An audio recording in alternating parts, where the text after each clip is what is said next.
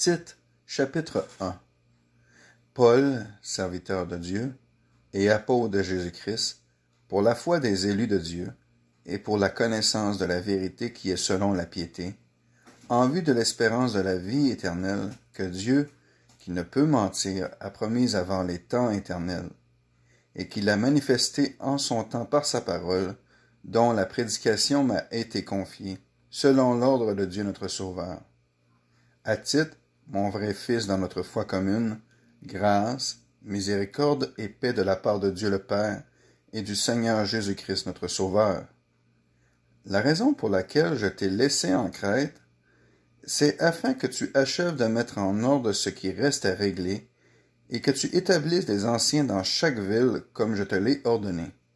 S'il s'y trouve quelqu'un qui soit irrépréhensible, mari d'une seule femme, ayant des enfants fidèles, qui ne soient pas accusés de dérèglement ni d'insubordination, car il faut que l'évêque soit irrépréhensible, comme économe de Dieu, qu'il ne soit ni présomptueux, ni coléreux, ni adonné au vin, ni violent, ni porté au gain des honnêtes, mais, au contraire, hospitalier, aimant les gens de bien, prudent, juste, saint, tempérant, attaché à la véritable doctrine qui doit être enseignée, afin qu'il soit capable tant d'exhorter, selon la sainte doctrine, que de convaincre ceux qui s'y opposent.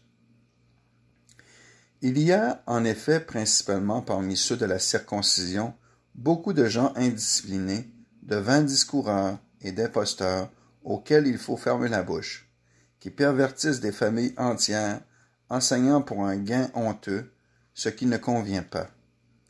Quelqu'un d'entre eux, leur propre prophète, a dit Les Crétois sont toujours menteurs, de méchantes bêtes, des ventres paresseux. Ce témoignage est véritable. Pour cette raison, reprends-les sévèrement afin qu'ils deviennent saints dans la foi. Et ne s'attache pas aux fables judaïques, ni aux ordonnances des hommes qui se détournent de la vérité. Tout est pur, il est vrai, pour ceux qui sont purs. Mais rien n'est pur pour les impurs et les infidèles, au contraire, et leur esprit et leur conscience sont souillés. Ils font profession de connaître Dieu, mais ils le renient par leurs œuvres, étant abominables, rebelles et incapables d'aucune bonne œuvre.